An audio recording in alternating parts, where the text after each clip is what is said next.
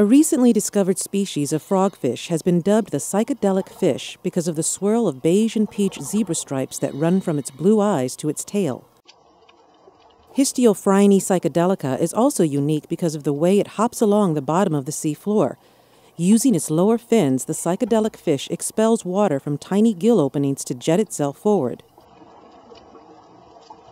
Their awkward motion might be attributed to a tail that's curled to one side, limiting their ability to steer themselves.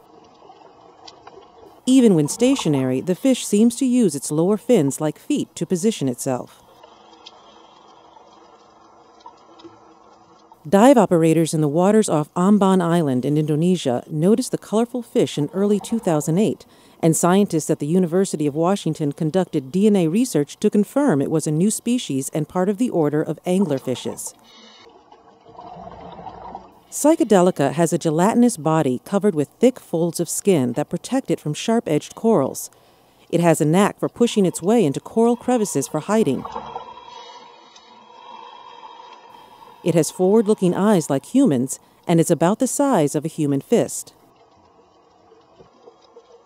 The fish is shy and secretive, usually seeking a new hiding place within 10 to 15 minutes of discovery by divers.